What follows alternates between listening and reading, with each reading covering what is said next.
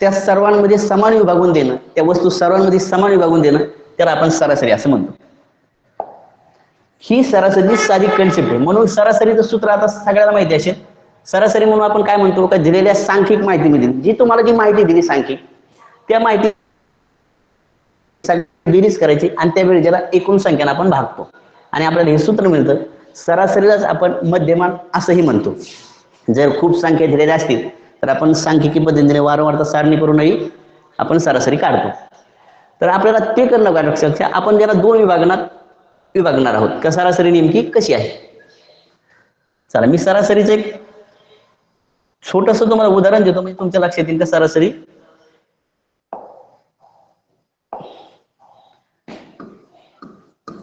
सरासरीची concept आपण समजून घेताना पहिल्यांदा सरासरी मूळ उद्देश नेमकी सरासरीची मेन कन्सेप्ट काय? ही एकदा समजली का? सगळेच गणित आपल्याला समजतील. जसं उदाहरणार्थ मी त्याने छोटी उदाहरणं देतो. तीस पस्तीस चाळीस पंचेचाळीस आणि पन्नास. अशा संख्या आहेत वेगवेगळे आणि मला विचार करायचा का हे समजा मी असं म्हणलं का ए व्यक्तीकडे हे बी कर आहे सी कड डी आणि ई. ह्या पाच व्यक्तीकडे इतके रुपये आहेत. म्हणजे ए व्यक्तीकडे तीस रुपये बी व्यक्तीकडे पस्तीस इकडे चाळीस डी पंचेचाळीस आणि इकडे पन्नास. तर हे मित्र आहेत आणि मित्र बसल्यानंतर त्यांनी असा विचार केला की आपल्याला समान वाटून घ्यायची. समान ज्यावेळेस वाटणी करतो आपण त्यावेळेस आता पाच याच्या वाटण्या कराव्या लागतील. पाच वाटण्या करायच्याच म्हणजे काय? ह्या सगळ्यांची बेरीज करावं लागेल एकत्र करायच्या आणि त्याचे पाच विभागण्या सार समान करायच्या. म्हणजेच आपण या सगळ्यांच्या बेरीज करतो आणि त्याला किती जण येते तर पाच जणांनी आपण विभागून देतो. हे साधं सरळ सरासरीचं सूत्र आहे. आता जे आपण सूत्र पाहिलं ते. आता आपण याचे दोन भाग करणार आहोत. सरासरी म्हणजे नेमकं काय सरासरी म्हणजे येत आहे ते बघणार आहोत. सरासरी ज्यावेळेस आपण पाहतो त्यावेळेस सरासरीचे दोन गणित आपल्याला परीक्षेत दिसतात मुख्य. ते कोणकोणते प्रकारचे दिसतात? मी जो तुमच्याकडे प्रकार काढतो म्हणजे तुमच्या लक्षात येईल का कसे प्रकार असतात. एक तर संख्या ज्ञानावर आधारित बरेचसे प्रश्न या सरासरीमध्ये मिक्स केलेले असतात. आणि दुसरं वर्णनात्मक काही प्रश्न असतात. का जे सरासरीच्या कन्सेप्टवर आधारित असतात. आपण संख्या ज्ञानावर आधारित म्हणजे कोणत्या? का जर दिलेल्या समज संख्या असतील दिलेल्या विषम संख्या असतील विषम संख्या असतील तर त्यांची सरासरी किती? वगैरे अशा टाईपचे काही प्रश्न. आणि इकडे वर्णनात्मक म्हणजे कसं? का एखाद्या वर्गाची सरासरी एखाद्या एखाद्या वर्गात इतके मुलं आहेत त्यांची सरासरी विषय मुली काय आहेत त्यांची सरासरी काय आहेत तर मग एकूण वर्गाची सरासरी किती? अशा टाईपचे काही गणित असतात. आपण पहिल्यांदा एक दहा वीस मिनिटं संख्या ज्ञानावर घालूया आणि उरलेले वर्णनात्मक वर टाकूया. कारण दोन्ही मध्ये कधी एखाद्या वर्षी यावर प्रश्न येतो आणि कधी कधी याच्यावर यावर प्रश्न येतो. एक प्रश्न तर हमखास तुम्हाला सरासरीचा असतो मग आपण संख्या ज्ञानावर म्हणजे संख्या ज्ञान मिक्स करून कसा प्रश्न येतो ते बघणार आहोत. चला आपण मी प्रश्न घेतोय. असा प्रश्न दिलाय. म्हणजे मी काय सांगितलं होतं पहिल्यांदा? का संख्या ज्ञानावर आधारित प्रश्न कसा येतो? जसं उदाहरणार्थ समजा अशी सरासरी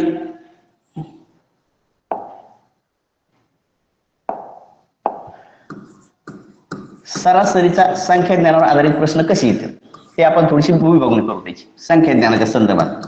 थोडस लक्ष द्या आणि नीटच बघा का संख्या ज्ञानावर कशा म्हणजे दिलेल्या संख्या जर कशा कशा असू शकतात.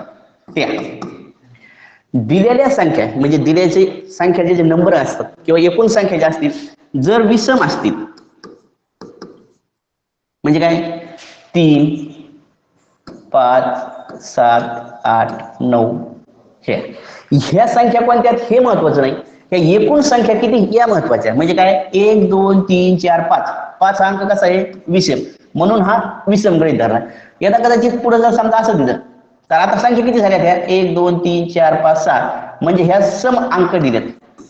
म्हणजे यांची नंबरिंग सम एकूण संख्या जर सम आल्या आणि एकूण संख्या जर विषम आल्या तर आपण कसं सोडवणार आहोत ते बघणार आहोत. बरोबर? विषममध्ये काय? म्हणजे एकूण अंक जर विषम असतील याच्यामध्ये काय असं येऊ शकतात? का क्रमवार संख्या असतील? सम असतील आणि विषम असतील. आता कोणत्या संख्याचा विषय करतोय मी? यामधल्या. ही संख्या जर विषम असेल किंवा ही संख्या जर सम असेल किंवा ही संख्या जर क्रमवार असेल आणि एकूण संख्या जर विषम असतील तर कसं याचं हे करायचंय? ते आपण बघूया. जसं उदाहरणार्थ त्याच्याला मी पहिला प्रश्न घेतो. इथं बघा. एक दोन तीन चार आणि पाच.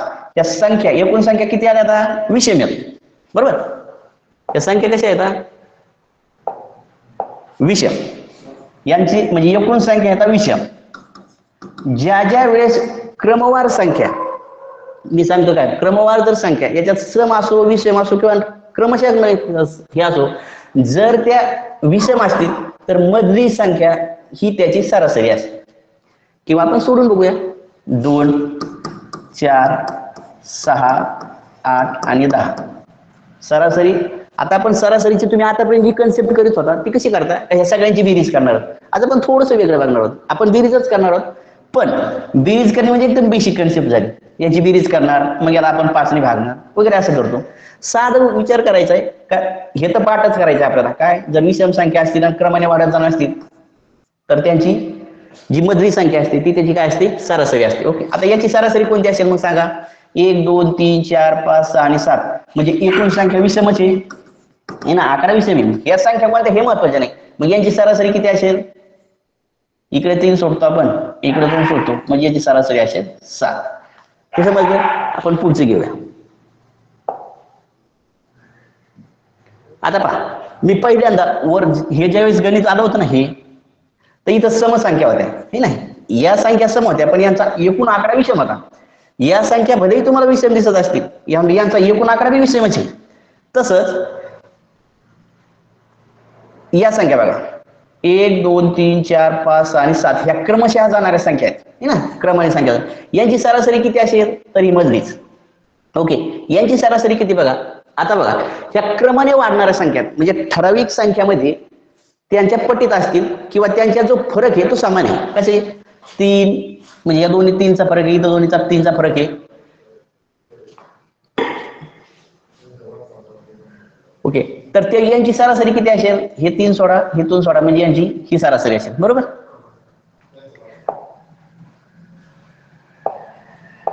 म्हणजे यांची ही सरासरी आहे. यांची ही सरासरी. म्हणजे मला काय सांगायचं होतं? जर दिलेल्या संख्या विषम असतील दिलेल्या संख्या जर विषम असतील तर त्या संख्येची जी मध्यभागी संख्या असते किंवा मधली संख्या असते ती त्या संख्यांची सरासरी असते. आता इकडचा भाग झालाय.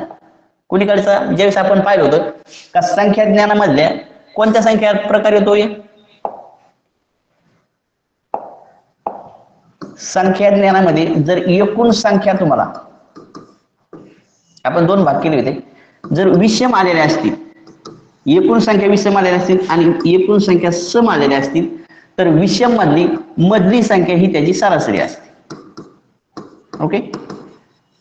आता म्हणजे त्या या संख्या कोणत्याही असू द्या पण त्यांचा नंबरिंग जर विषम असेल तर मधली संख्या. फरक जर समान असेल तरी विषम क्रमशः नैसर्गिक असतील तरी मधली संख्या सरासरी असते. आता सम बघा तू बघूया उदाहरण. समचं उदाहरण मी एक देतो तुम्हाला. हे पहा. याच्यामध्ये सम म्हणजे काय? एक दोन तीन चार एकूण संख्या आल्यात सम तर अशा वेळेस इथेही समच येतात एक दोन तीन चार भलेही ही पाच ही संख्या विषम असेल पण आपल्याला त्याचा संदर्भ नाही. आपल्याला काय करायचं एकूण संख्या किती आल्यात बघायचा एक दोन तीन चार पाच आणि सहा. म्हणजे यांचा आकडा किती? सहा. सहा म्हणजे सम. एक दोन तीन चार. म्हणजे चार म्हणजे सम. असं ज्यावेळेस येईल आणि त्यांचा फरक सारखाच आहे त्यावेळेस मधल्या ज्या दोन संख्या असतात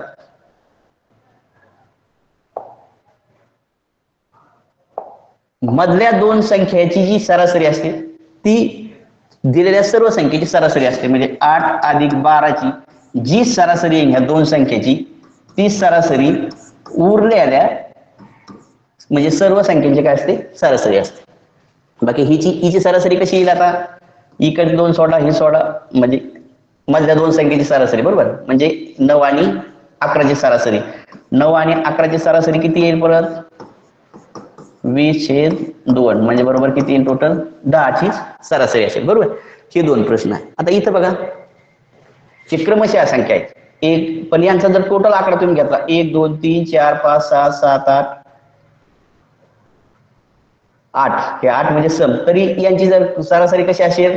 तर ह्या दोन संख्येची काय करावं लागेल तुम्हाला? या दोन संख्येची बेरीज करून या दोन संख्येची सरासरी इथं या दोन संख्येची सरासरी. हे साध्या साधं कॉमन संख्येच्या याच्यावरचा येतो प्रश्न येतो. आपल्याला हे महत्वाचं नाही. आज आपण वर्णनात्मक बघणार आहोत.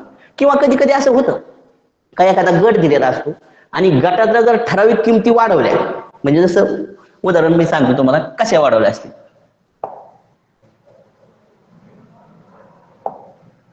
इथं काय झालंय गटातील जर ठराविक संख्या किमतीनं वाढत असतील किंवा किमतीने कमी होत असेल जसं उदाहरणार्थ मी सांगितलं का पाच दहा आणि पंधरा यांची सरासरी किती असेल?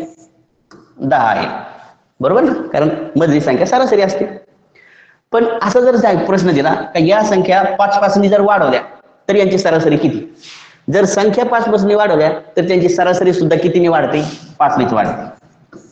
बरोबर? म्हणजे जर ह्या संख्या अशा झाल्या दहा पंधरा आणि वीस पाच पाचने वाढल्या ना ह्या संख्या तर यांची सरासरी काय होईल? सरासरी सुद्धा तेवढीच वाढवेल. किंवा सरासरी जर म्हणजे वरच्या संख्या जर कमी केल्या तर सरासरी सुद्धा तितकीच कमी होते. म्हणजे गटातील जर सर्व संख्या ठराविक किमतीनं वाढवल्या किंवा ठराविक किमतीनं कमी केल्या तर सरासरी सुद्धा काय होते? तेवढ्याच संख्येने वाढते किंवा कमी होते. ओके? वाटलं तर हे एक ओळ लिहून घ्या म्हणजे तुमच्या उपयोगाला येईल. आता आपण क्रमवार संख्यांची सरासरी बघणार आहोत. क्रमवार संख्येची म्हणजे कशी? आता थोडस या प्रश्नाकडे लक्ष द्या कारण हा प्रश्न बऱ्याच वेळेस परीक्षेत येतो. क्रमवार म्हणजे कसं? एक दोन तीन चार पाच ते असं तीस पर्यंत जर अशा संख्या दिल्या मधूनच चालू केल्या. आणि सांगितलं का क्रमवार संख्येची सरासरी सांगा. एक ते तीस असेल एक ते पन्नास असेल एक ते शंभर असेल असं कोणतंही जर असेल तर आता सरासरी कशी काढायची? याचं एक सूत्र आहे. वाटलं त्याचं सूत्र याच सूत्राचा उपयोग करून आपण पुढे जाणार आहोत. सूत्र असं आहे तर तुम्ही ठरव पाहिलं असं कारण आपण सरासरीची कन्सेप्ट थोडीशी कन्सेप्ट करतो आणि मग बघू. हे पाय मी असं म्हणलं.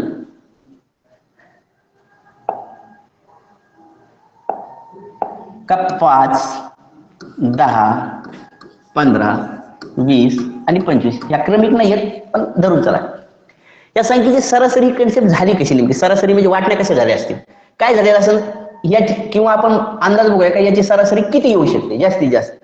कमीत कमी एका व्यक्तीकडे किती रुपये आहेत? ग्रेट धरलं एकाकडे पाच आहेत एकाकडे दहा आहेत एकाकडे पंधरा वीस आणि पंचवीस. अशी रुपये आहेत समजा. सरासरी सगळ्याकडे किती रक्कम असेल? कमीत कमी पाच तर सगळ्याकडेच आहेत. आणि सगळ्यात जास्त पंचवीस. म्हणजे सरासरी या दोन संख्येच्या मध्ये येणार आहे. का चार रुपये आहेत कोणाकडे? म्हणजे पाच पेक्षा कमी रुपये आहेत का कोणाकडे? कोणाकडेच नाही. पंचवीसपेक्षा जास्त रक्कम कोणाकडे आहे का? तर कोणाकडेच नाही. म्हणजे सरासरी या दोन त्या ह्या दोन संख्येच्या मध्ये येणार आहे. म्हणजे जरी तुम्हाला उत्तर द्यायचं असेल परीक्षेत एखादा असं आल्यानंतर जर अंदाजे उत्तर जरी द्यायचं असेल तरी खाली पर्याय बघा. या पर्यायामध्ये या छोट्या संख्येपेक्षा तर नाही ना? आणि मोठ्या संख्येपेक्षा तर नाही ना? जर छोट्या संख्येपेक्षा पर्याय असेल तर समजून चला तो पर्याय चुकायची मोठ्या संख्येपेक्षा असेल तर तो चुकायची म्हणजे सरासरी येताना ह्या सगळ्यात छोटी आणि सगळ्यात मोठी या दोन संख्येच्या मधली जी मध्ये काहीतरी असेल दरम्यान कुठंतरी त्या दरम्यान एखादी सरासरी येईल. काय झालेलं असं आपण बघूया थोडस. हे बघा पाच.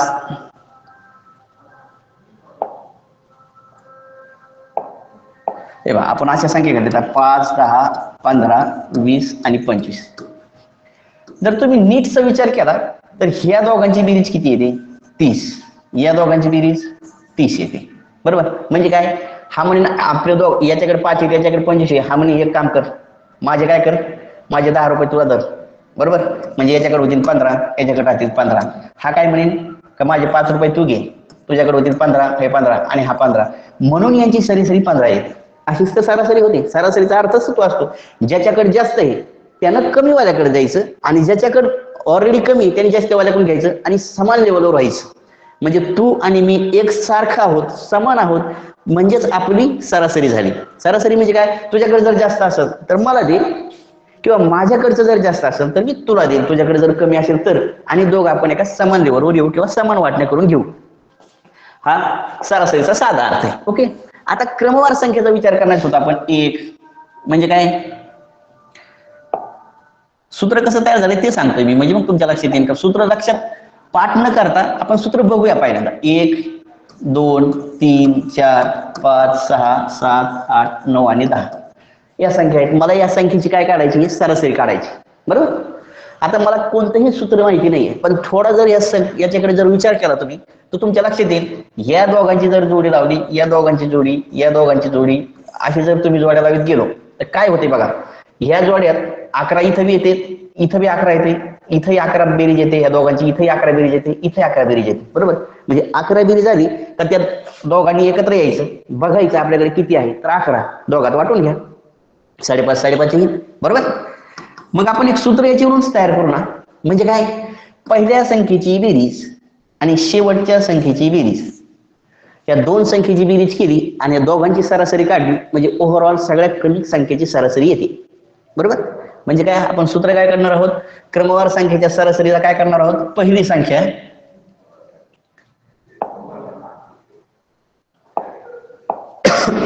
पहिली संख्या. अधिक शेवटची संख्या. याच संख्येच्या सूत्रावरून आपण एक आणखीन वेगळं सूत्र तयार करणार आहोत आणि त्याला त्यांची सरासरी. आता हे पाठ करू नका. तिथं लक्षात ठेवा. दोन जर क्रमिक संख्या दिलेल्या असतील आता कोणतीही क्रमिक संख्या असू द्या हीच सूत्र ओके? म्हणजे काय? पहिली संख्या शेवटची संख्या एकत्र केली आणि त्यांची सरासरी काढली का आपल्याला त्या क्रमवार संख्येची सरासरी येते. ओके? त्यावरून आपण एक गणित घेऊया पहिलं. चला तुमच्या स्क्रीनवर तुम्हाला गणित दिसत असत बरोबर? पहिलं गणित ते का पहिल्या चाळीस नैसर्गिक संख्येची सरासरी किती? तुम्हाला काढायची. मी काही वेळ देतो आणि तुम्हाला याची संख्या सरी काढायची. तर मला वाटतं सोडवा. खाली तुम्हाला चार प्रश्न दिसतील पण पहिला आपण प्रश्न घेऊया. आणि मग हे झाल्यानंतर आपण पुढच्या प्रश्नाकडे जाऊया. मला वाटतंय झालेली असं ना अशा वेळेस इतक्या वेळेस लवकर व्हायलाच पाहिजे होते हे की नाही? काय? पहिल्या चाळीस क्रमावर नैसर्गिक संख्येची म्हणजे एक ते चाळीस संख्येची तुम्हाला हे काढायची बरोबर? म्हणजे काय? आपण आता सूत्र पाहिले एक आणि ह्या पहिली संख्या आणि शेवटची संख्येची बेरीज करून त्यांची जर सरासरी म्हणजे दोघांची सरासरी जर काढली तर ती किती येते? एक्केचाळीस छेद दोन. म्हणजे किती येईल? वीस पॉईंट एक.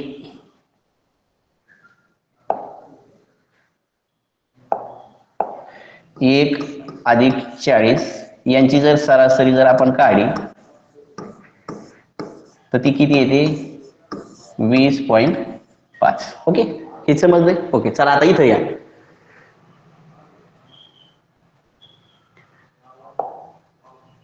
आता प्रश्न इथं इथं जे आहे ना थोडं प्रिंग मिस्टेक झाली. एक नाहीये तर इथं सात आहे.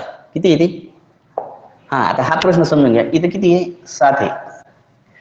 सातने निशेष भाग जाणाऱ्या पहिल्या तीस संख्यांची सरासरी काढायची. ही गणित सोपं होतं. हे ना पहिल्या चाळीस संख्या एक दोन तीन चार चाळीस कळलं तुम्हाला. आता प्रश्न असा आहे का सातने निशेष भाग जाणाऱ्या पहिल्या तीस संख्येची सरासरी किती? मला वाटतं जर येत असेल तर कमेंट्स करा किंवा आपलं हे टाकून द्या. ठीक आहे ना उत्तर तुमचं. समजेल मग मला किती सात बघा किती सातने निशेष भाग जाणाऱ्या पहिल्या तीस संख्येची सरासरी. मी सातने निशेष भाग जाणारे म्हणजे काय? सातला सातने भाग जातो. चौदाला मी संख्या देतो का? कोणत्या संख्येला सातने भाग जातो? सात चौदा जाईल एकवीस म्हणजे तुमच्या लक्षात आलं का? सातच्या पाड्यातल्या ह्या संख्या आहेत याला सातने भाग जाईल बरोबर? सात चौदा एकवीस. तुम्ही जर याच्याकडे नीट पाहिलं थोडस नीट लक्ष द्या. तर काय होईल? मी काय करतो? याच्यातून सात असा कॉमन बाजूला काढतो. बरोबर? मी जर सात असा कॉमन बाजूला काढा तर मध्ये काय राहते? एक इथं दोन राहील इथे तीन चार पाच सहा असंच होईल ना? ठीक आहे? सात पाच पस्तीस सात सेकंड पुढे बेचाळीस आहेच म्हणजे काय? सेम ते जेव्हा सात जर आपण कॉमन बाजूला काढलं तर ह्या उरलेल्या संख्याला या तर क्रमवारच तयार झाल्या ना? आणि क्रमवारची आपण काय केलं होतं? का पहिली संख्या आणि शेवटची संख्या. आता शेवटची संख्या इथं तुमच्या लक्षात आलं जर तीस काढायच्या असतील तर आपल्याला असं तीसच येणार आहेत ना? म्हणजे शेवट संख्या इथं किती येईल? तीस. लक्षात येते मी काय सांगतो ते बघा. ही पहिली संख्या आहे. ती इथं आपण सात कॉमन काढ्यामुळे इथे एखादी ही दुसरी होती. तिसरी चौथी पाचवी. या पाचवीची इथं पाच काढ्या बरोबर हे कॉमन आले असं जर पुढे आपण करीत गेलो तर शेवटची काहीतरी संख्या असेल पण तीस. पण आपण तीस जर कॉमन इकडे बाहेर काढ म्हणजे सात जर बाहेर काढले तर इथे किती राहिले? तीस. आता मग मी असं लिहू हो का? आता हे लक्षात आले तुमच्या? म्हणजे इथं काय तयार होईल? हे पहा. इथं असं तयार होईल का सात कॉमन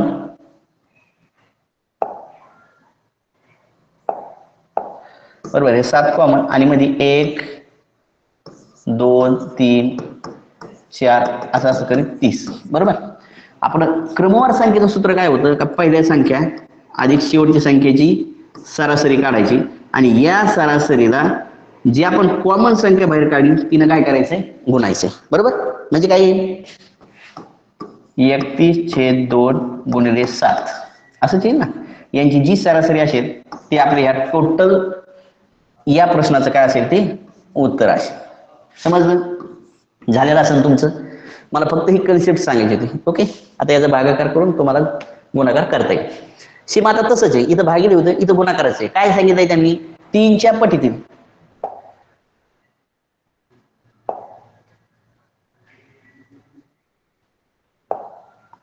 तीनच्या पटीतील पहिल्या बारा संख्येची सरासरी सांगितली.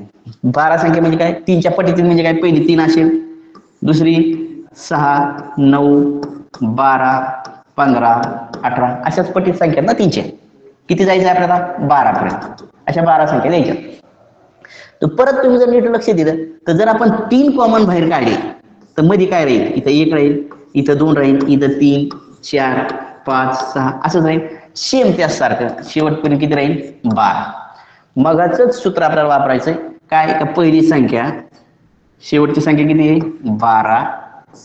यांची सरासरी आणि या सरासरीला आपल्याला किती निघून आपण जे कॉमन बाहेर काढले ते त्या संख्या ओके तेरा गुणिले तेरा भागिले दोन गुणिले तीन. यांचं जे उत्तर येईल ते याचं उत्तर असेल समजलंय?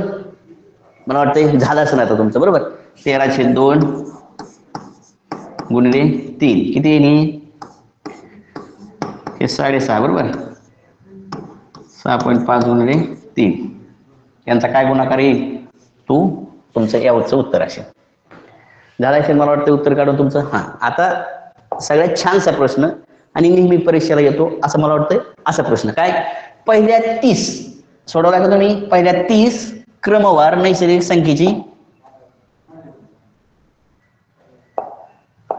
पहिल्या तीस क्रमशः नैसर्गिक संख्येची सरासरी. आता जे माग आपण जे शिकलोय ना त्याचं उपयोजन या प्रश्नात आहे. बरोबर? काय प्रश्न? पहिल्या तीस नैसर्गिक संख्येची सरासरी आणि पहिल्या वीस नैसर्गिक संख्येची सरासरी यांची बेरीज करायची तुम्हाला.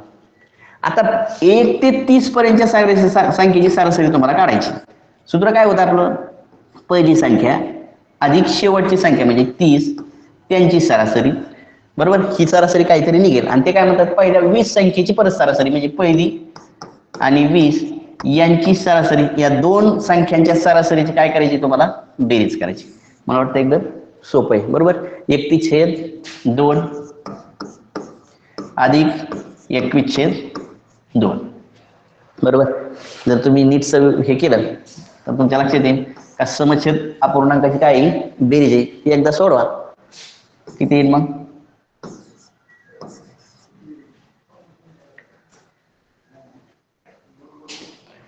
आहे ना? सव्वीस दोन्ही बावन्न. उत्तर किती आलं याचं? सव्वीस. एकदम सिंपल प्रश्न आहे. जास्त जर तुम्ही नीटचा विचार केला का पहिल्या क्रमिक संख्येच्या सरासरीचाच विचार केला कधी उत्तर सुटतंय. ओके आता हा दोन हजार सतराला आलेला प्रश्न होता. हा दोन हजार सतराला. सोडवा हा प्रश्न. हा खूप छान आहे. दोन हजार सतराला शिष्यवृत्तीमध्येच हा प्रश्न आलेला होता. आणि सेम आता जे आपण कन्सेप्ट घेतली होती त्याच कन्सेप्टवर प्रश्न आहे. खूप सोपा प्रश्न आहे. चला मी तुम्हाला काही वेळ देतो. थोडस सोडवा. घ्या. एक ते पन्नास क्रमागत नैसर्गिक संख्येची सरासरी. क्रमवार एक ते पंचवीस संख्येच्या सरासरीपेक्षा कितीने जास्त आहे? म्हणजे एक ते पन्नास यांची सरासरी आणि एक ते पंचवीसची सरासरी याच्यापेक्षा कितीने जास्त आहे? असं त्यांचं म्हणणं आहे. काय प्रश्न? एक ते पन्नास. झाला एक सोडून. पहा एक ते पन्नास या नैसर्गिक संख्या सरासरी किती येईल? एक. आता आपण पाहिलं असं जर क्रमिक संख्या दिलेल्या असतील तर आपण पहिली संख्या आणि शेवटची संख्या. बरोबर? यांची काय करतो? ह्या दोघांची सरासरी काढतो. दोघांची सरासरी काढतो म्हणून दोन्ही भागतो. बरोबर? यांची सरासरी काढायची आणि परत पुढची यांची बी सरासरी काढायची. म्हणजे एक आणि पंचवीस. एक ते पंचवीस सरासरी म्हणजे किती? सव्वीस छेद दोन म्हणजे यांची सरासरी तेरा. ओके. आता यांची सरासरी काढू. किती येईल छेद दोन. किती येईल ही? पंचवीस पॉईंट पाच. त्यांचं काय म्हणणं आहे? मी तर पर्याय ऑलरेडी मुद्दामच दिले नाहीत. हे तुम्ही सोडवायचे आहे ना मी खाली चार पर्याय का दिले नाही त्याचं कारण असं का? पर्यायकडे आपण नंतर बघूया. आपल्याला प्रश्न सोडवता आले पाहिजे. नंतर जेव्हा अंदाज येईल त्यावेळेस अंदाज येतो आपण चांगली कन्सेप्ट आपली चांगली डेव्हलप झाली का मग पर्याय आपोआपच तुमच्या लक्षात येईल त्या काय असू शकतात. बरोबर? काय असतील आता? काय म्हणणं आहे त्यांचं? एक ते पन्नासच्या क्रमागत नैसर्गिक संख्येची सरासरी. सरासरी निघली ही एक ते पंचवीस संख्येच्या सरासरीपेक्षा कितीने जास्त आहे? म्हणजे तेरापेक्षा हे कितीने जास्त आहे? कितीने जास्त आहे म्हणाल वजा करायची. बरोबर? म्हणजे साडा बाराने म्हणजे बारा पॉईंट पाच ने काय आहे? जास्त आहे. एकदम सोपा प्रश्न होता हा. आहे ना? जर तुमची नीटची ही कन्सेप्ट जर व्यवस्थित असेल आता मी पाहिलं होतं का ह्या प्रश्न कशाचा आहे? थोडासा संख्या ज्ञान मिक्स करून याचा हा प्रश्न. म्हणजे आपण जे पाहिलं होतं ना क्रमिक विषम संख्या क्रमिक समसंख्येची बेरीज केली त्याच्यातला थोडासा हा रेडिओ होता. बरोबर? आता एक विधान त्यांनी दिले की संख्याज्ञानाच्या ज्ञानाच्या विधान काय बघा दोन हजार अठरा. अठराला हा प्रश्न आला होता. आपण मी परीक्षेचे प्रश्न का घेऊया घेऊयात आपण? दोन हजार सतरा अठरा एकोणीस वीस एकवीस बावीस आणि तेवीस. का? तर आपल्याला या पाठाची खोली लक्ष देईन का हा पाठ नेमका प्रश्न विचारतो तरी कसे?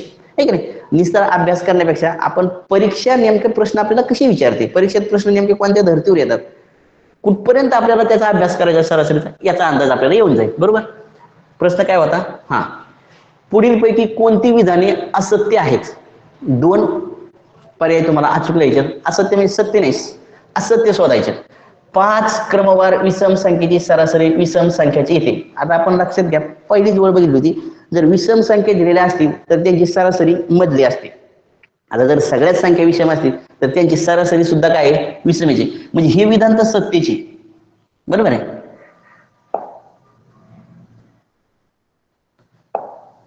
हे विधान तर सत्तेचे. बा पुढे येऊ दिलेल्या संख्येच्या गटाची सरासरी गटातील प्रत्येक संख्येपेक्षा मोठी असू शकते. आता बघा एखादी संख्याचा गट दिलाय दोन पाच चार असं काहीतरी. आणि त्यांची जर सरासरी असेल तर त्या सगळ्यात मोठ्या आणि सगळ्यात छोट्याच्या दरम्यानची सरासरी असते. त्या सगळ्या संख्येपेक्षा मोठी कशी असू शकते? ना? प्रत्येक संख्येपेक्षा मोठीच असू शकत नाही. म्हणजे ही विधान तर चूक आहे. पुढे बघूया आपण. दोन समसंख्येची सरासरी विषम संख्या असू शकते. आता मी काय करू? हे जर तुमच्या त्यावेळेस लक्षात नाही आलं तर दोन संख्या सरळ समसंख्या घ्यायच्या. आणि यांची सरासरी काढा. किती येते? पाच. विषम संख्या असू शकते. म्हणजे हे तर बरोबरच आहे. आता तुम्ही थोडस हे पर्याय बघायचाच नाही खालचा विषय सोडून द्या. काय सांगितलंय त्यांनी? दोन असत्य पर्याय तुम्हाला सांगायचे. आता हे तर बरोबरच आहेत. म्हणजे हे जर ह्या जर असत्य असेल तर हा तर असत्यच असणार पाहिजे. बरोबर आहे? म्हणजे तुमचं उत्तर येईल. पर्याय दोन आणि चार. ओके. मला वाटतं सोपा प्रश्न होता. हा आपण पाहिलेल्या संख्याज्ञानाच्या आधारावर होता. आता प्रश्न इथून पुढचे कसे येतात ते बघूया. बरोबर? आता थोडासा संख्याज्ञानाच्या संदर्भातच प्रश्न संपला आपण आता वर्णनात्मक येऊया. बरोबर?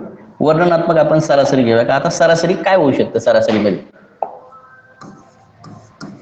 वर्णनात्मक प्रश्न घेऊया का आता सरासरी आपल्याला एक्झॅक्ट काढायची किंवा सरासरी जर असेल तर कमी जास्त काय होऊ शकते? साधं उदाहरण की मी ही कन्सेप्ट एकदा समजून घ्या. कन्सेप्ट समजली का मग आपण हे करूया. मी असं म्हणतो का एक मित्राचा गट बसलाय आणि त्या मित्राच्या गटात चार मित्र बसले आणि त्यांच्याकडे असे रुपये आहेत. म्हणजे एक जणाकडे पाच रुपये आहेत एक जणाकडे दहा रुपये आहेत एक जण बाराकडे आहेत आणि एक जणाकडे वीस रुपये आहेत. एखादा व्यक्ती या गटात आला किंवा एखादा व्यक्ती या गटातून जर बाहेर गेला तर सरासरीवर नेमका काय परिणाम होतो तो आपण आता बघणार आहोत. समजा मी असं म्हणलं यामध्ये तुम्हाला वेगवेगळ्या प्रश्न सापडतील. बघू आपण ते कोणते कोणते प्रश्न येतील. पण पहिल्यांदा ही कन्सेप्ट समजून घेऊ आपण. काय आहे? का हे चार व्यक्तीचा ऑलरेडी गट बसलाय चार मित्र बसलेले आहेत त्यांच्याकडे एवढे पैसे आहेत. आणि एक पाचवा व्यक्ती आला. बरोबर? पाचवा व्यक्ती आला. तीस रुपये या गटात घेऊन. किती? तीस. थोडस निरीक्षण करा का या सगळ्यांपेक्षा याच्याकडे जास्त पैसे आहेत जास्त रुपये आहेत. तर काय होईल? आणि आपली सरासरीची कन्सेप्ट काय? सरासरी सांगते काय? सरासरीचा अर्थ असतो कोणी मोठा नाही कोणी छोटा नाही कोणाकडे जास्त नाही कोणाकडे कमी नाही. आलोत आपण एका गटात सगळे वाटून घ्यायचे. म्हणजे याच्याकडं जर यांच्या गटात म्हणजे आपल्याला पहिल्यांदा यांची सरासरी तर अंदाज यावा लागेल का? याला तर पैसे याला द्यायचे आहेत. तर काय होऊ शकते? आपल्याला फक्त काय परिणाम होतोय तो काढायचा आहे. काय असेल का? ह्या सगळ्यांपेक्षा याच्याकडे जास्त पैसे याचाच अर्थ याला पैसे यांना द्यायचेच आहेत. का घ्यायचे त्याच्याकडून? नाही द्यायचे आहेत. म्हणजे मी जर म्हणलं का या गटाची सरासरी जर किती असेल? पाच दहा. आपण इथं थोडस पटकन होण्यासाठी पंधरा घेऊ. पंधरा. आहे ना? इथं वीस.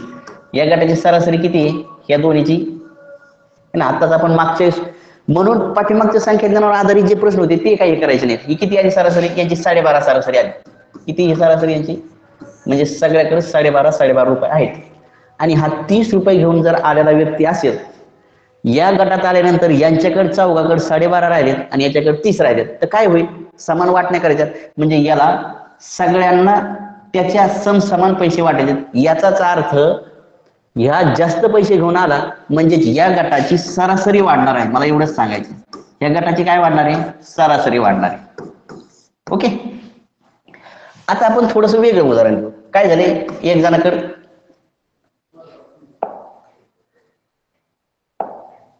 एक जणाकडे सात आहेत एक जणाकडे चौदा आहेत एकवीस. असे पैसे आहेत. बरोबर? आणि एक सहावा व्यक्ती आला आणि त्याच्याकडे पंधरा रुपये आहेत. हे व्यक्ती पाच इथं बसलेले आहेत. हा एक व्यक्ती याच्याकडे हे एवढे रुपये आहेत. म्हणजेच या गटाची जर सरासरी यांच्या यांच्या वाटणी जर केली तर यांची सरासरी येते एकवीस. बरोबर? म्हणजे या पाच जणांच्या गटाकडे एकवीस प्रत्येकाकडे एकवीस एकवीस रुपये आहेत.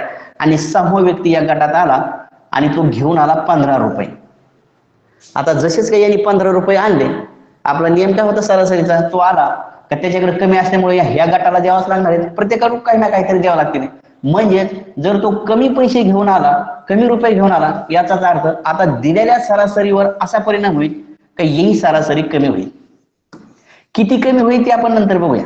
पण सध्या तरी एवढं समजून घ्या का जर दिलेल्या गटापेक्षा एखादा व्यक्ती जर कमी रुपये घेऊन आला तर त्यांची ओव्हरऑल सरासरी कमी होते. आणि जर जास्त रक्कम घेऊन आला तर ओव्हरऑल सरासरी जास्त होते. याच अर्थावर याच धर्तीवर आपण पुढचा प्रश्न घेऊया म्हणजे तुमच्या लक्षात येईल. हे पहा हा एक प्रश्न आहे. एका नावेत सरासरी बावीस किलो वजनाची पंचवीस मुलं बसली. प्रश्न एकदा नीटचा बघा. तुम्ही सोडायला लागा. आता तो कसा सोडायचा मी सांगतो. पहिल्यांदा हे तर पहिला समजून तर घ्या काय प्रश्न आहे. काय एक नाव आहे. आता नाव मला काढता नाही पण तुम्ही समजून चला का एक नाव आहे? काशी एक नाव आहे. त्या नावेमध्ये किती मुलं बसलेली आहेत? पंचवीस मुलं बसलेत आणि त्या प्रत्येकाकडं प्रत्येकाचं वजन बावीस बावीस. नावाडी आला जसाच नावाडी याच्यात येऊन बसला का सगळ्यांचं वजन चोवीस चोवीस झालं. आता तुम्ही म्हणता काय सर दोन लगेच दोन किलो वजन वाढ का काय? वजन वाढत नाही. जर आपण रुपयाच्या हिशोबाने बघा तर समजा पंचवीस मुलं आहेत सगळ्याकडे बावीस बावीस रुपये आहेत. पण नावाडी आला आणि सगळ्याकडे चोवीस चोवीस रुपये झाले. असे अर्थ नाही घ्या. काय झालं असेल? मी काय म्हणलं होतं? जसेच का सरासरी वाढली याचा अर्थ यांच्याकडे असणाऱ्यापेक्षा त्याचं जास्त होतं म्हणून तर सरासरी वाढली. काय होऊ शकतं? आता बऱ्याच जणांचा प्रश्न सोडवताना असं सोडवतो आपण मग. पंचवीस मग टोटल बावीस मग यांची एकूणच सरासरी काढतो मग तो आला त्याच्यानंतर परत हे असं न करता आपण थोडासा वेगळा विचार केला तर नाही जमणार का? आपण बघूया. हे बघा ही पंचवीस मुलं होती.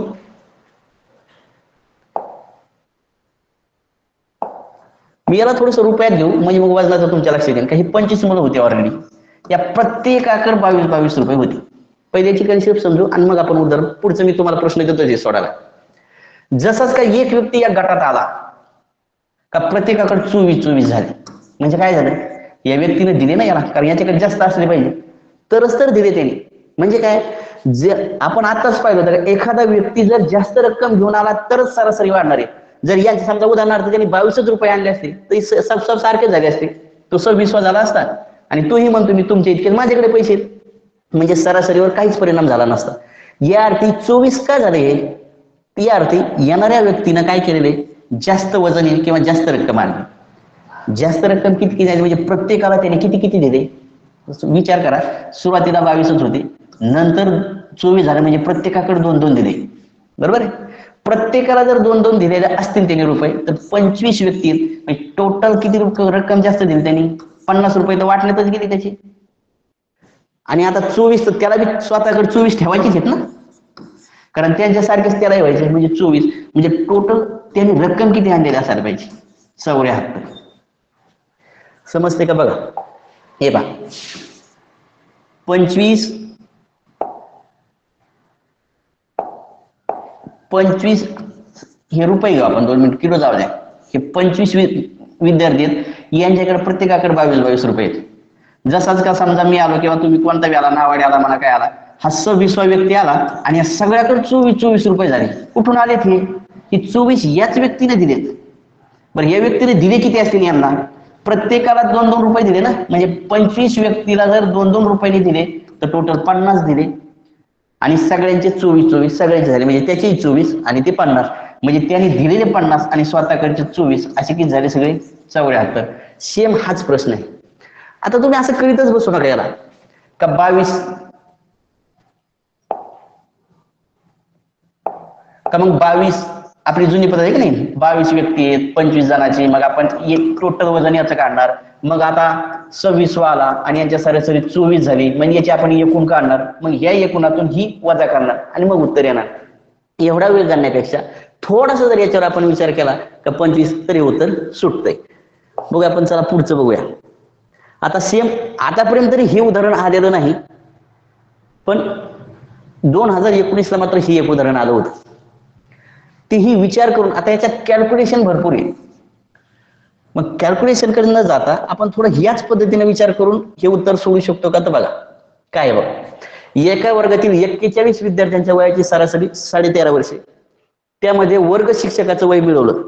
म्हणजे जसंच का वर्गाची एक एकूणात आहे आणि जसंच वर्ग शिक्षक आला का आता परत काहीतरी परिणाम झाला. त्या वयांची मिळवल्यास वयांची सरासरी सहा महिन्यांनी वाढते. इथे एक शब्द राहिलाय. वाढते. असं द्या सरासरी काय होते? वाढते. तर वर्ग शिक्षकाचं वय किती?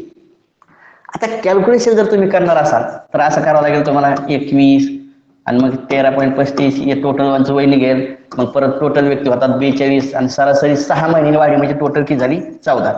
हे कॅल्क्युलेशन न करता थोडा फक्त याच्यावर विचार तर करूया आपण. काय झालंय नेमकं? जसाच का बघा एकेचाळीस विद्यार्थी सगळ्याकडे साडेतेरा साडेतेरा रुपये होते. असं इथंच झालं ना. वय सोडा बरोबर वय साडेतेरा आहे. हा व्यक्ती एक वर्ग शिक्षक जसे झाले का यांचं वय वाढायला लागते. याचा अर्थ काय? यांच्याकडे जास्त होते म्हणून तर वाढले ते. मग आपण बघूया कितीने वाढले सहा सहा महिन्याने वाढले किती व्यक्तीचं वाढले एक्केचाळीस. याचा अर्थ वाटलेत किती गेलेत? है ना? आता इथं सहा महिने येते बरोबर? रुपयाचा नक्की सहा महिन्याचा विचार करा बरोबर? सहा महिने. म्हणजे एक्केचाळीस व्यक्तीला किती वर्षे गेली असतील? सहा सहा महिन्याने. तर साडेवीस. है ना? साडेवीस वर्षे त्यांची त्या सरांनी हे झाले. किंवा रुपयात जर नेलं तर साडेवीस रुपये त्यांनी वाढण्यातच गेले. आणि टोटल चौदा सगळ्यांचे समान झाले म्हणजे चौदा. म्हणजे त्या सरांचं वय किती असेल? साडे चौतीस किती असेल? कॅल्क्युलेशन नको आपल्याला. याची कन्सेप्ट जर नेटची समजून घेतली का व्यक्ती आल्यानंतर सरासरी वाढते. व्यक्ती जास्त वयाचा आला तर सरासरी वाढणार. जास्त रक्कम घेऊन आला तरी सरासरी वाढणार. कमी घेऊन आला का सरासरी? कमी होईल. हाच जर प्रश्न आता फ्लिप करून टाकायचा असेल तर आता वर्ग शिक्षकाच्या ऐवजी एखादा मुलगा आला तर सरासरी सहा महिन्यांनी जर कमी झाली आता थोडस सहा महिन्याने पण एक जरी महिन्याने कमी झाली तरी मग ओव्हरऑल पूर्ण याच्यावर परिणाम होईल. आपण ते एक उदाहरण बघूया. काय होते ते? बरोबर? आता चला एक उदाहरण आतापर्यंत व्यक्त आलं नाही पण येण्याची काय सांगता? येऊ शकते असं कारण सध्या क्रिकेटचं फेवर आहे. ना? आता जो वर्ल्ड कप झालाय. आणि तुम्हाला मॅचही आवडतात. हा एक प्रश्न आहे. आतापर्यंत फलंदाजीचा प्रश्न आलेलाच नाही आपल्या परीक्षेत. पण येऊ शकतो. काय आहे प्रश्न बघा. एका फलंदाजाने सतराव्या डावात सत्याऐंशी रन बनवले. त्यामुळे त्यांची सरासरी तीन रनाने वाढते. तर सध्याची सरासरी किती? मला वाटतं एक दोन मिनिटं याच्यावर विचार करा. आणि मग आपण प्रश्न सेम असंच. का तो व्यक्तीने जास्त डाव बनवल्यामुळं तर सरासरी वाढली. बरोबर? म्हणजे याचा अर्थ अगोदरची सरासरी कमी होती. म्हणून तर या डावात सत्याऐंशी रन बनवले म्हणून तर सरासरी वाढली. बरोबर? काय झालं ते बघून घ्या. सोडवलाय का प्रश्न? बघा एकदा. थोडा एकदा त्याच्यावर विचार करा. का एखादा फलंदाजी त्यांनी सोळा डावात काहीतरी रन काढली त्याची सरासरी काहीतरी होती. पण जसंच का त्यांनी सतरावा डाव खेळा का इकडे सोळा नावाची सरासरी तीन तीनने वाढली. बरोबर?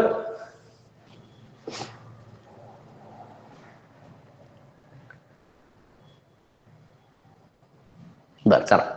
आता झालंय काय पहिले समजून घेऊ हा पहिला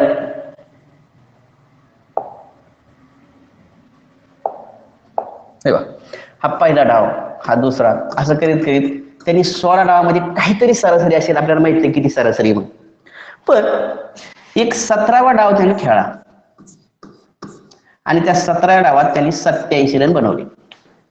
जसेच का सत्याऐंशी रन बनवले का सगळ्यांचे इकडच्या पाठीमागची तीन तीननी सरासरी वाढली. बरोबर? तीन तीननी सरासरी वाढले. म्हणजे ओव्हरऑल जर नीटचा तुम्ही विचार केला तर पाठीमागची सरासरी बघा आता काय झालेलं असेल? तीन तिन्ही वाढली. म्हणजे या सोळाला याला तीन जर दिले तर त्याचे अठ्ठेचाळीस रन मागच्या सोळा डावाची सरासरी कव्हर करण्यात गेली. आणि आताचा जर विचार केला तर सतरा गुणिले तीन म्हणजे एक्कावन्न रन आहे त्या सरासरीला त्याला जर याच्यात सरासरी इतकं यायचं जर असेल बघा म्हणजे इथं जी सरासरी आहे आता तीन रन टाकल्यामुळे यांची तीन वाढली पण आपल्याला माहीत नाही पूर्वीची सरासरी किती होती. पण जर त्या सरासरी द्यायचे तर अजून तीन रन आपण इथं द्यायचे म्हणजे सतरा तरी एक्कावन्न रन आपण इथपर्यंत दिले. जर या सत्याऐंशी मधून एक्कावन्न रन जर काढले तर खाली किती राहतात? तर याचा अर्थ पूर्वी बघा नीट समजून घ्या. पूर्वी इथं सरासरी छत्तीस असायला पाहिजे होती. बरोबर? नीटचं येते का लक्षात? हे पहा.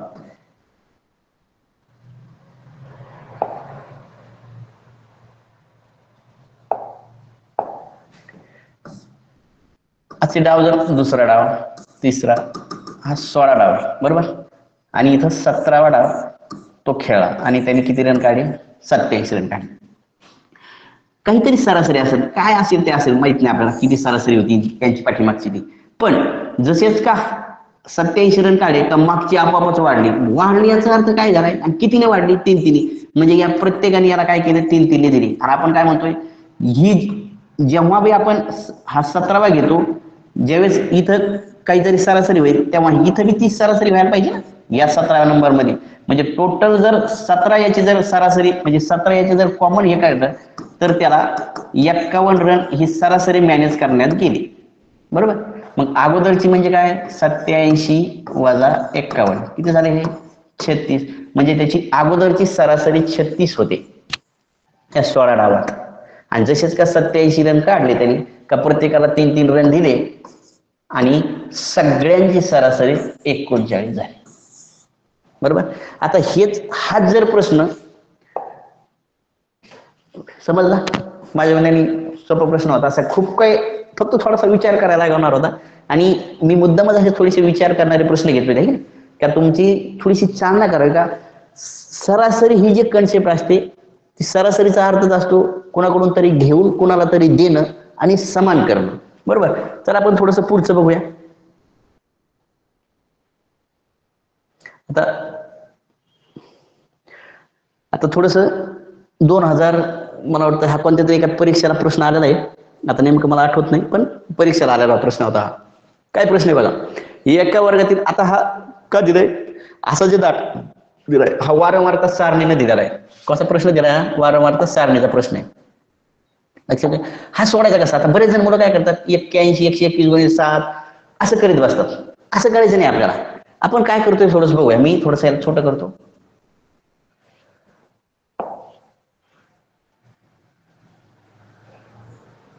छोट होय नाही.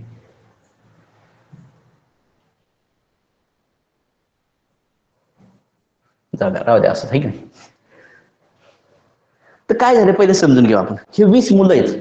आणि हे वीस मुलांची उंची म्हणजे काय? सात मुलाची उंची एकशे एक्कावन्न भरते सेंटीमीटर भरते चार मुलाची उंची एकशे त्रेपन्न भरते सहा मुलाची उंची एकशे पंचावन्न भरते आणि तीन मुलाची उंची एकशे सत्तावन्न भरते. आता थोडस कन्सेप्ट नीट लक्ष घ्या मी याच्या अगोदर तुम्हाला एक कन्सेप्ट सांगतो म्हणजे लक्षात येईल काही प्रश्न नेमके सोडवायचे कसे.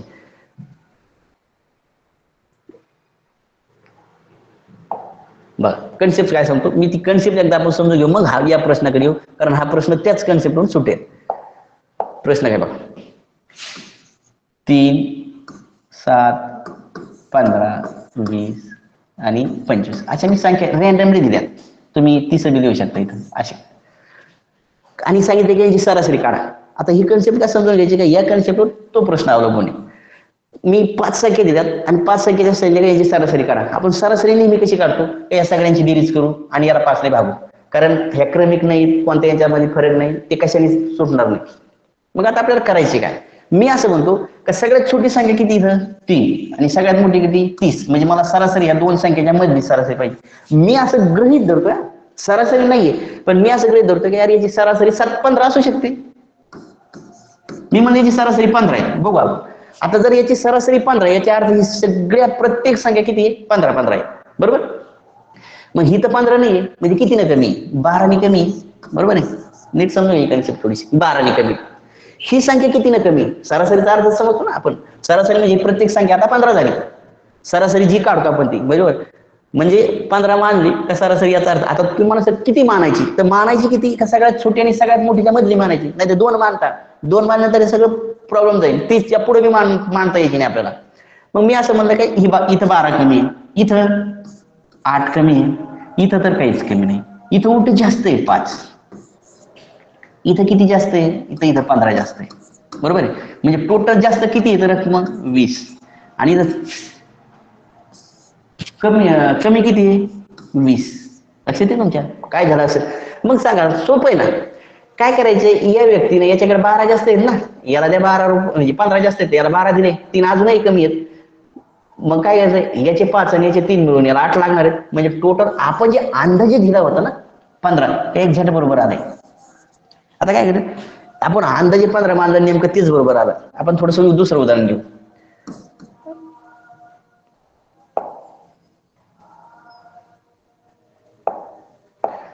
समजा आठ सात पंधरा वीस आणि सोळा अशा संख्या बरोबर? आणि मी सरासरी मांडली. का अंदाजे मांडली मी पंधरा आहे पंधरा जर सरासरी मांडलेली असेल तर इथं पंधरा किती कमी आहेत? सात कमी आहेत. इथं आठ कमी आहेत इथं काहीच कमी नाही. इथं जर पंधरा म्हणले तर पाच जास्त आहेत आणि इथं किती जास्त आहेत? एक जास्त आहे. म्हणजे टोटल किती जास्त येतं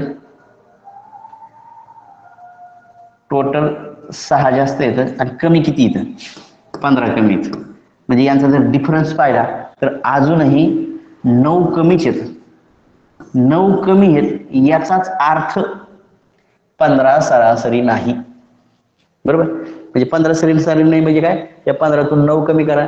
जितकी येईल तेवढी सरासरी असेल. किती येईल पंधरातून बरोबर? बरोबर चालू ना आपण?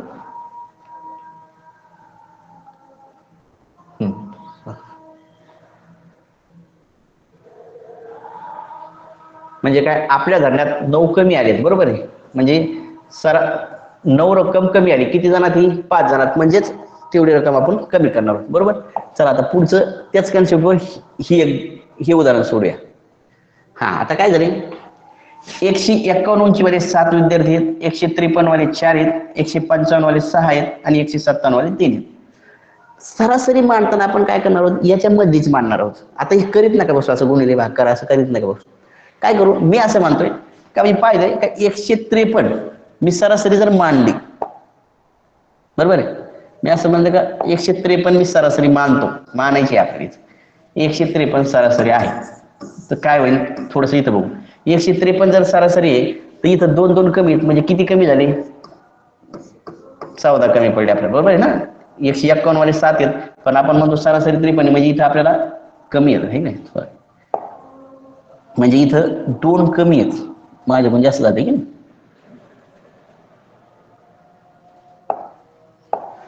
म्हणजे चौदा आपल्याला कमी पडली बरोबर? इथं तर काहीच कमी नाही कारण आपण इथे हे चौदा आहेत बरं हे सोडा. इथं तर काहीच कमी नाही. बर इथं काय झाले? इथं एक्स्ट्रा आहेत. आपण एकशे त्रेपन्न मांडलेत पण सहा विद्यार्थ्यांचे दोन दोन निमित्त किती होईल? एक्स्ट्रा बारा आहेत. इथे या. आता एकशे त्रेपन्न मांडलेत म्हणजे इथं चार चार जास्त आहेत. चार जास्त किती जणांचे आहेत? तीन जणांचे आहेत. म्हणजे इथं बी जास्त बारा आहेत. टोटल किती? टोटल जास्त किती झालेत हे बघा कमी झालेत चौदा आणि जास्त झाले चोवीस. थोडी समजून घ्या कन्सेप्ट याचा अर्थ यांची याला जर दिले तरी जास्त किती झाले? दहा. जास्त दहा झाले. की दहा रक्कम दहा जर या वीस जणात वाटल्या तर किती किती येतील? तेवढ्या जणात वाटूनच द्यायच्यात ना. तर ती येईल पाच पाच. हे ना? पाच पाच. म्हणजे काय? अर्धा अर्धा येईल ना? एका एकाला अर्धा अर्धा येईल वीस जणाला. याचाच अर्थ आपली जी चुकली का एकशे त्रेपन्न आपण जी मांडली होती ती एकशे त्रेपन्न न मानता हे जर अर्धा अर्ध दिले ना हातात हे बघा वीस विद्यार्थी त्यांच्यात हे दहा जर वाटायचे असेल तर एक एकाला पॉईंट पाच पाच द्यावा लागेल. बरोबर आपण मांडले होते एकशे त्रेपन्न आणि जास्त रक्कम किती एकशे त्रेपन्नपेक्षा जास्त किती वाढली एका एकाला आली तर पॉईंट पाच. म्हणजे याची सरासरी एकशे त्रेपन्न पॉईंट पाच. बरोबर? आता ही या या या कॅल्क्युलेशनपेक्षा हे छोटस कॅल्क्युलेशन सोपं आहे. बरोबर? चला आपण असाच पुढचा प्रश्न घेऊ म्हणजे तुमच्या लक्षात येईल हा बी सिंपल आहे काय बघा? एका संस्कार शिबिरात एका संस्कार शिबिरात सहभागी काय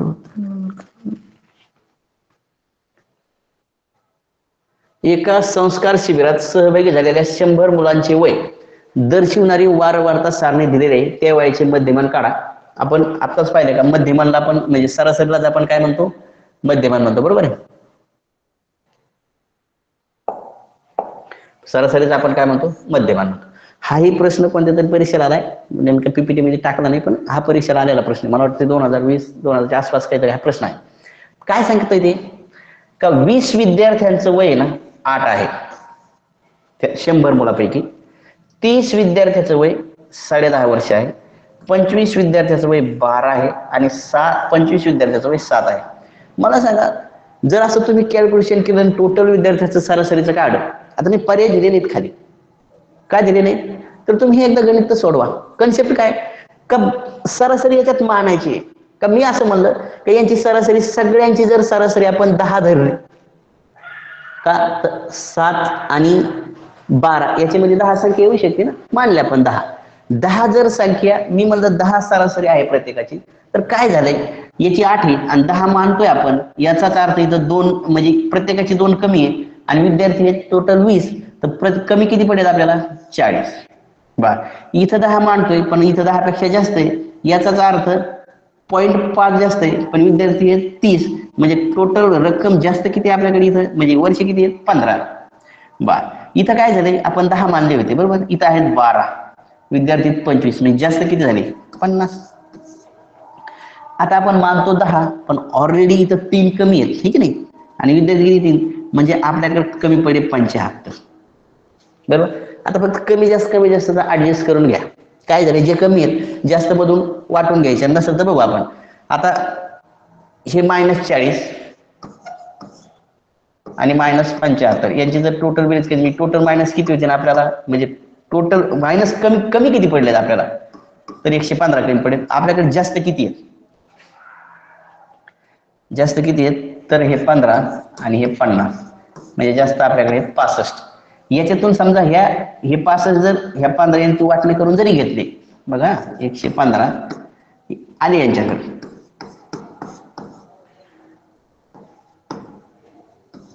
तरी आपल्याला पन्नास कमीच आहेत अजूनही. हे ना? हे जरी यांना जरी पुरवले तरी पन्नास कमी आहेत. पन्नास कमी जर आपण मानली होती दहा. सरासरी किती मानली होती? दहा. याचा अर्थ पन्नास कमी आहेत. किती याच्यात? शंभर. म्हणजे आपल्याला काढून घ्यावं लागतील. हे जास्त झालंय आपल्याकडून. ठीक आहे म्हणजेच काय? दहा जे मानलं होतं ते जर हे बघा इथं जर जास्त आलं तर आपण त्यांना देणार आहोत. ना ना जास्त रक्कम. आपल्याकडे जर प्लस मायनस करणं जर जास्त रक्कम आलं. तर याचा अर्थ काय झाला? का आपण जी सरासरी मांडली त्याच्यापेक्षा रक्कम उरते. म्हणजे आपल्याला ती देऊन टाकायची. बर आपण जे सरासरी मांडली आणि रक्कम जर म्हणजे वजामध्ये जर आली तर याचा अर्थ काय? आपण जी मांडली ती जास्त मांडली होती. याचाच अर्थ आता त्यांच्याकडून ते काढून घ्यायची. जेवढे आपण जास्त म्हणजे जेवढे इथं मायनस आले तेवढे. जर या शंभर विद्यार्थ्याकडून जर मला पन्नास काढून घ्यायचे असते तर प्रत्येकाकडून मला पॉईंट पाच काढून घ्यावा लागेल. आणि मी मांडलं होतं दहा. आणि जर पॉईंट पाच काढे तर उर- उरणार खाली किती? नऊ पॉईंट पाच. ही प्रत्येक ह्या सगळ्यांची सरासरी. आता प्रश्नामध्ये काय दिलेलं असेल? नऊ पॉईंट पाच म्हणजे साडेनऊ वर्षे. दोन पर्याय असतील तर मग नऊ वर्षे आणि सहा महिने असे पर्याय असतील. बरोबर आहे? पर्याय दोन तुम्हाला तो तो अंदाज येत आहे हो. किती? ओके. मला वाटतंय जवळपास आपण सगळ्या टाईपचे प्रश्न कव्हर केले ठीक आहे? आता जाता जाता एक वेगावरचा प्रश्न घेऊया आणि आपण थोडस थांबूया बरोबर?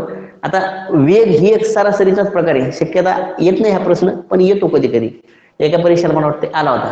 प्रश्न काय? ये अ गावापासून एक लास्ट प्रश्न घेऊया आणि आपण थांबूया. मी तुम्हाला सरावाला प्रश्न देणारच आहे. अ गाव आहे आणि ब गाव आहे. या दोन गावामध्ये काहीतरी अंतर आहे आणि एक जी गाडी जाताना मात्र चाळीस किलोमीटर वेगाने गेली. बरोबर? काहीतरी अंतर असेल येताना मात्र साठ किलोमीटर वेगाने आली. बरोबर? आहे तर त्या सगळ्या प्रवासात या ओव्हरऑल गाडीचा सरासरी वेग किती होता हे हे काढायचं आपल्याला. बरोबर? मला वाटतंय बघा जर तुम्हाला जर जमला हा प्रश्न तर. याचं सूत्र सांगतो मी तुमच्या लक्षात येईल.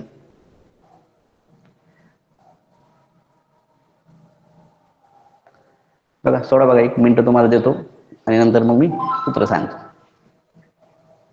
म्हणजे जाताना हे जमा.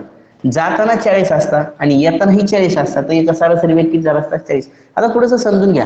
जात हे जे काही अंतर आहे जाताना काहीतरी वेळ लागला असं ना याला पण तिकडून येताना जाताना जितका वेळ लागलाय तितकाच येताना लागलाय का? तर नाही लागला कारण येताना वेग जास्त होता. याचा अर्थ कमी वेग लागलाय. म्हणजे वेळ कमी लागलाय. बरोबर आहे? वेळ कमी लागलाय म्हणजेच आता तुम्हाला तर दोन्ही दोन्ही याचं ऍडजस्ट करायचं मग आता याचं सूत्र काय आहे? पहिले ते समजून घेऊ आपण. हे बघा याचं सूत्र असेल डायरेक्टली सूत्र देऊन तुम्हाला देतो म्हणजे मग.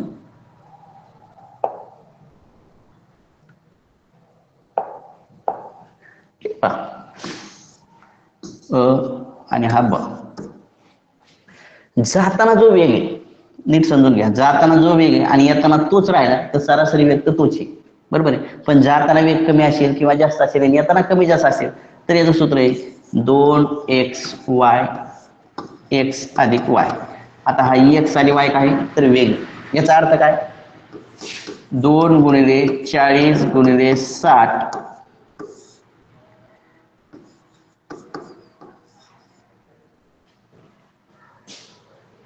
बरोबर? म्हणजे साठ अधिक चाळीस बरोबर?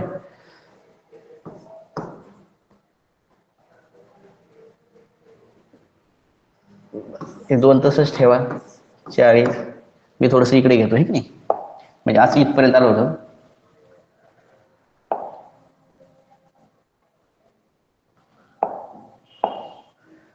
दोन गुणिले चाळीस गुणिले साठ.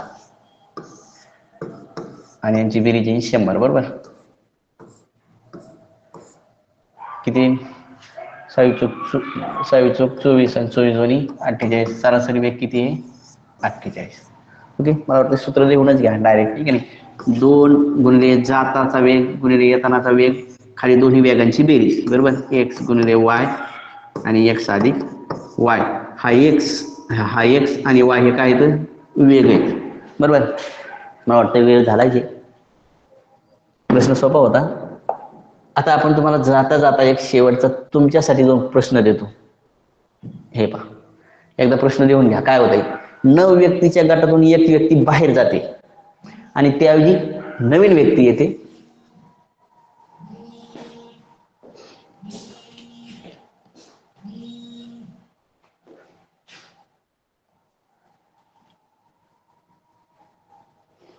बरोबर? नवीन व्यक्ती येते आणि त्या गटाचं सरासरी दोन किलो वाढते तर बाहेर गेलेल्या व्यक्तीचं बेचाळीस असेल तर बघा आहे बघा. ही कन्सेप्ट सेम थोडासा विचार करायचा आहे. थोडासा बसून थोडासा विचार करा. या कन्सेप्टवर विचार करा का एखादा व्यक्ती उठून बाहेर गेला गटातून आहे तो आता गटात आलेला नाही तर आहे त्या गटातून गेला. आहे त्या गटातून गेला. आणि समजा उदाहरणार्थ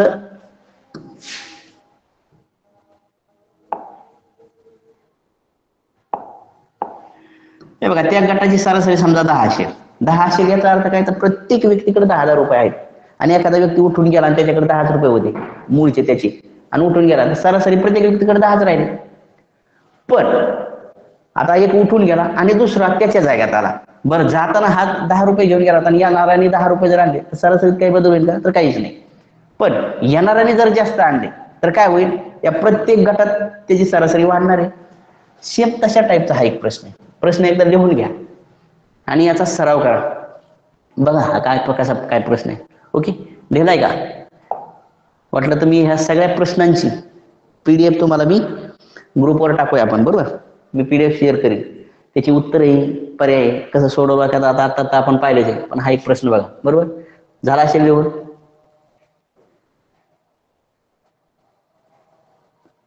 हा एक प्रश्न घ्या. नऊ संख्येची सरासरी सत्याऐंशी आहे. पहिले आता हा हा जो प्रश्न आहे शक्यता या असा प्रश्न येण्याची शक्यता खूप कमी आहे. परंतु जर तुम्हाला सरासरी बऱ्यापैकी जर समजले असेल कन्सेप्ट तर हा प्रश्न सोडायला काहीच हरकत नाही. बरोबर आहे? व्यक्ती जर पाठीमागचे प्रश्न निश्चित करत असेल तर हा प्रश्न व्यवस्थित समजेल तुम्हाला. हा प्रश्न एक घ्या. काय? नऊ संख्येची सरासरी सत्याऐंशी आहे पहिल्या पाच संख्येची सरासरी एकोणऐंशी आहे आणि पुढच्या तीन संख्येची सरासरी ब्याण्णव आहे. तर नववी संख्या कोणती? बरोबर? आता ही कन्सेप्ट कशी थोडस मी सांगतो काय ते. हे बा पहिल्या पाच संख्येची सरासरी किती आहे? या गटाची सरासरी एकोणऐंशी. पुढच्या तीन संख्येची सरासरी किती आहे? ब्याण्णव आहे. बरोबर आहे? आणि मग नववी संख्या किती आहे? हे काढायचं तुम्हाला. बरोबर? सेम आता मी मग म्हणलं का नाही? कमी असेल तर वाढवा जास्त असेल तर जसं का सगळ्यांची सरासरी सत्याऐंशी आहे. याचा अर्थ काय? प्रत्येक याच्याकडे सत्याऐंशी आहे. पण इथं तर एकोणऐंशी एकोणऐंशीचे म्हणजे इथं कमी पडले आणि इथं तर जास्त झाले. ते जास्त कमी करा आणि तुमचं जे उत्तर येईल ते झाली संख्याशी ओके? मला वाटतंय आपण बरेचशा कन्सेप्ट घेतले की नाही? बरेचसे प्रश्न घेतले थोडासा सुरुवातीला टेक्निकल प्रॉब्लेम आला होता आहे की नाही? पण तरी सरासरीशी छोटीशी कन्सेप्ट आहे. खूप छान आहे. आणि फक्त त्याच्यात एक लक्षात ठेवायचं जर गटात व्यक्ती आला गटात बाहेर गेला किंवा सरासरीचा अर्थ हे सगळ्या संख्या एकत्र करायचं आणि ते जेवढ्या संख्या आहेत तेवढ्या संख्येने भागायचं. हे तर बेसिक सरासरीचं सूत्र आहे. आशा करतोय का आजचा तास तुम्हाला समजला असेल. वेळ बोलतो आणि थांबतो.